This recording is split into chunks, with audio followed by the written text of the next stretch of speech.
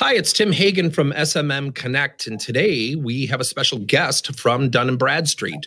Stacy Greiner has joined us, and we're going to talk about some of the innovative ways that marketing has changed and digital marketing.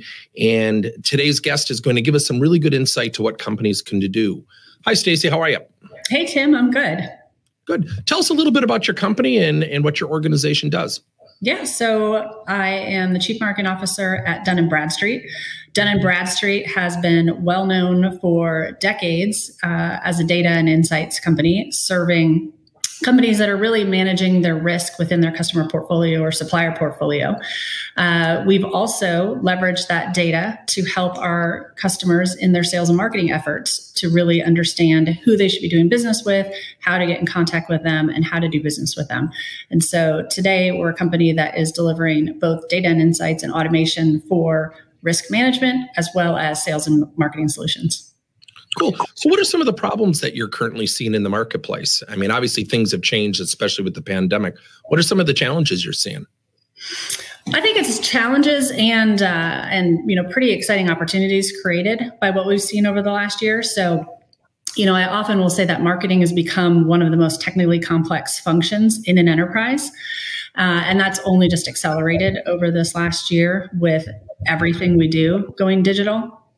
And so, you know, it's that's why I think it's both a challenge because the teams and customers that we work with, right, are really trying to figure out how do we wrangle all of this technology we need to use to reach our buyers and all the different ways that they're digitally engaging with us, uh, and at the same time, you know, there's you know consistent pressures on managing your budget and uh, really being able to optimize who you're who you're reaching out to, who you're engaging with, how you're reaching them uh, and so, you know, I think with this challenge of this proliferation of tools comes a really exciting opportunity of how do we accelerate the uh, digital transformation that marketing has been on over the last couple decades, but really has gone into hyperspeed at this point.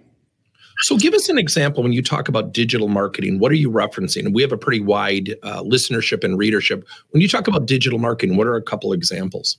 Yes, so some great examples. Now, digital marketing is pretty much all of marketing, right? But uh, some examples of digital marketing are things like paid search, uh, advertising, um, you know, retargeting. When you visit a website, you see ads from that site that follow you as you're going around and visiting other websites.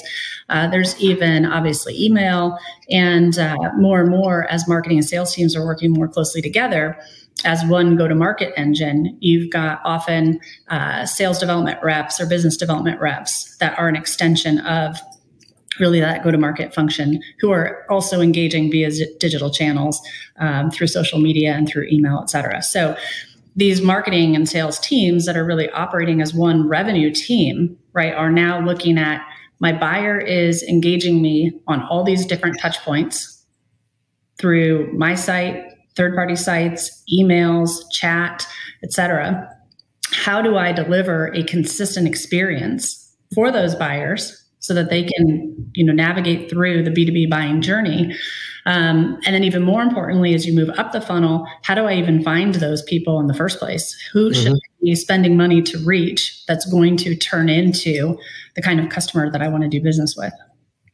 Well, and it's interesting because I know McKinsey came out with a report that now 71% of all buyers are now buying remotely or virtually. How has that affected or has that helped the digital marketing movement?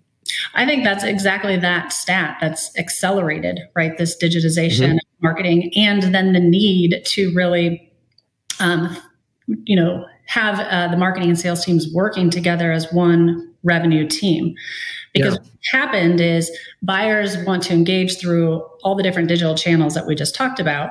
Often the response then from marketing and sales teams has been to buy best of breed, you know, products, point products for those different channels. Uh, which often translates even to how the teams are organized. So you have people mm-hmm. that are mm-hmm. operating in different silos. So then, very quickly, what you find is you have different data in those different silos. You have different um, you know messaging and content in the different silos. The teams are working in a disparate way. And so when you step back and you say how do i really deliver a unified buying experience that's personalized for my buyers that's privacy compliant that recognizes you know you can't send an email or contact somebody through one channel. That means you can't contact them through any of the channels that you're using right? So how do you manage all that? And that's you know that's really the challenge i think that the team that teams are facing and what we've specifically invested to solve at dun and bradstreet is to make revenue teams much more effective and be able to operate as one revenue generating team across sales marketing so what's what are some of the most common solutions or what's the ideal solution customers are looking for today? Because I would imagine they may not even know at times and some have a very clear vision and some may not even know where to start. What is it ultimately that people are looking for today? Even though as you explained what you do, do customers have a good understanding of what's even available to them today? I think our customers have a good understanding of the challenge, right? So, how do I deal with this proliferation of tools? How do I manage privacy across all the different channels? Um, how do I deliver a very personalized buying experience for this buying journey? As you noted, that is nearly all digital at this point. And so the challenge is very well understood. Um, this is exactly why we launched D&B Rev Up which is our RevTech platform. Uh, because the, the solution that we see is that you really need a place to bring together all of your own first party data. So the data that you own in the different tools and channels that you're using to engage with your buyers, together with third party data of what are other companies I want to do business with or other people in those companies that I should be reaching. But you need one place to do that so that you've got a single view of here's the universe of people that I want to do business with and then be able to create specific audiences for the different campaigns you're running and syndicate those audiences to the tools that you're already using. So this is really about making the tools you're already using work you know harmoniously across the buyer journey versus operating in silos across the buyer journey. So how long have you been using this platform or the platform that you just alluded to rev up? How long have you had that? How long have customers been using it and um, how does what are some of the benefits customers are uh, achieving or receiving today? Yeah, so we have been using it internally uh, for about the past year in Dun and Bradstreet. And one of the great things about being a marketing organization inside of a company that builds tools for marketing organizations, right. we get to really be in the trenches uh, with our product team and developing the kinds of uh, capabilities that are going to solve the, the key challenges that we see as an organization and that our customers see as well. And so internally, we've been using it for about the past year as we've really been developing and, and, and um, honing the features. Uh, but we also have a number of customers who have been uh, adopting it and using it as well over the past number of months. And we're seeing, you know, customers. One customer I was just speaking with the other day, uh, seeing already almost a 70% increase in sales accepted leads. So leads that wow. are generated that sales has accepted, yes, this is a qualified lead. And they're also seeing nearly a 40% increase in the engagement of their target accounts. And so this is, you know, really the idea of getting your data, uh, really wrangling it right in one place is that you can be very, very targeted on who you want to do business with.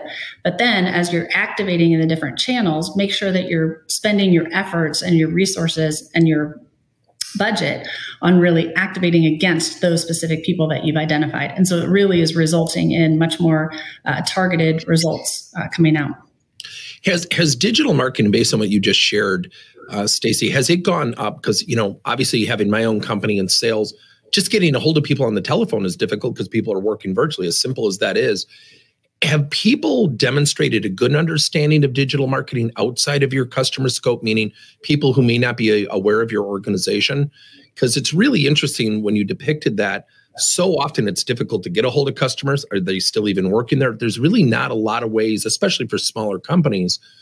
But what have you found in terms of people's understanding of digital marketing even outside of your customer sphere I think that's a great question. And I think that's also why, you know, we built this open platform that can connect to so many different channels and tools that you're already using. Because to your point, you have to expand that mix of how you're going to reach somebody. I can't just mm-hmm.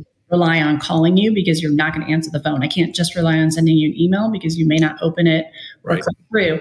I need to also be able to find you where you spend your day in social platforms, uh, browsing the web, et cetera and so we've also really been making investments in expanding the data that we have uh, to be able to reach those targeted people. So it's not just about the traditional business card data, right? Your work email and your work phone number and your work address, which people aren't at their work address anymore, right? But it's really looking at you know this blend of who you are as a consumer and who you are as a business professional blending that so that we can reach you then through the different digital channels which are often keyed off of more consumer um, attributes about about your target customers.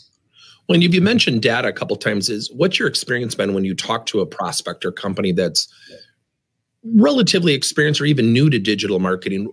Are people leveraging their data do they not know how to leverage their data i mean how do you go about helping companies do that so the short answer is yes, people are leveraging data, right? We've been talking about data driven marketing for probably two decades now, uh, but it still is the number one challenge, right? That marketing and sales teams, these revenue teams are really facing is how do I make sure that I've got a single source of truth?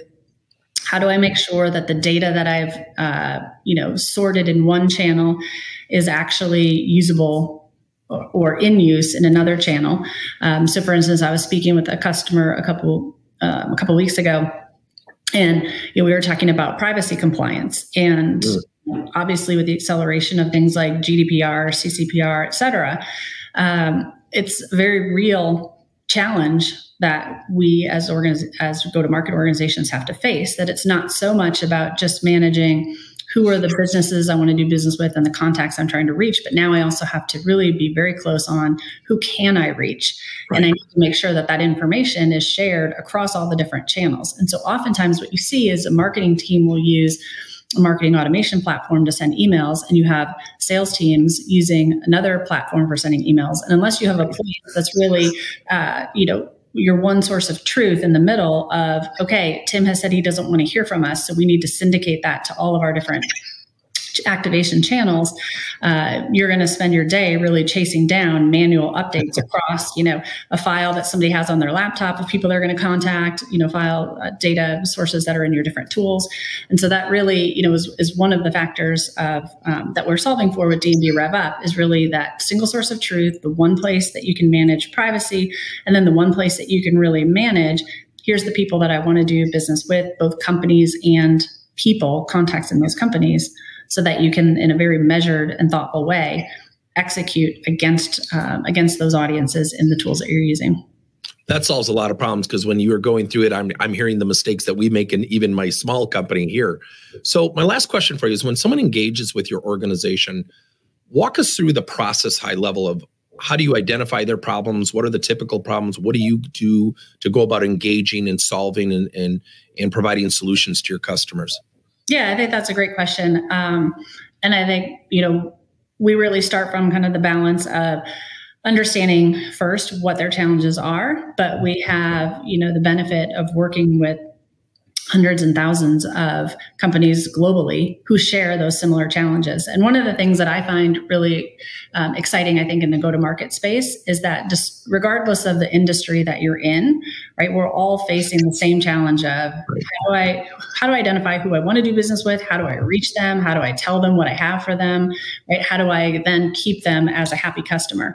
Uh, and so it's been really fun facilitating conversations across our customer base as well, uh, across industries. So, you know, not necessarily competitors. They don't have to worry about best practices they're sharing, but really giving them an opportunity to share with each other different ways of solving what we all have as, as kind of similar challenges at the end of the day.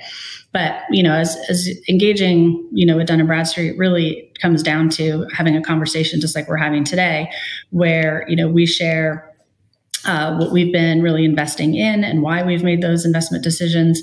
And we're really listening uh, for those you know key challenges that our customers have and how the solutions we have can really marry up and help them uh, get control of who are they trying to reach and how are they going to reach them and how are they going to engage and build their customer base Cool. I mean, that's I, I, love the way you explain that because what's really interesting, it's got to be fun for you. You practice what you preach because you're actually building the product you use internally that yes. you can facilitate. It's yeah. not someone jumping on a, a bandwagon and saying we're now going to adopt this. You're actually building what you actually live, and then you share that with your customers.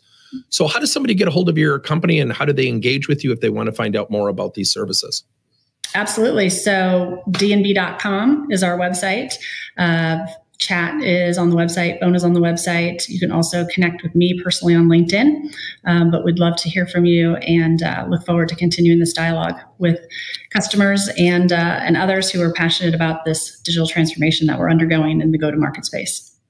Well, thanks for your time, Stacy. Great conversation. I love what your company is doing. I love the innovation and how much you've pivoted. When you, everybody who's listening to this, you hear the time frames. This is an innovative company who's pivoted in a very short time frame and allowed customers to really adopt digital marketing because the world has really changed. Thanks for your time. Thank you very much for your time. We're having a blast.